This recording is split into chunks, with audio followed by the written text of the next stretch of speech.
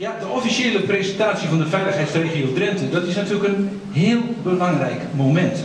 Dames en heren, eh, mooi dat we hier met z'n allen zo zitten. En ook eh, mooi dat eh, via de moderne techniek eh, op diverse plekken in Drenthe eh, dit gevolgd kan worden.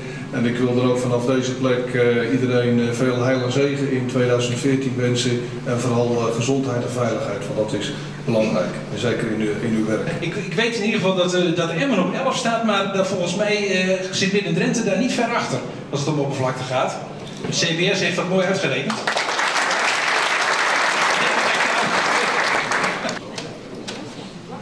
Kijk, dat vult ook gelijk alweer een enorm stuk van deze puzzel op.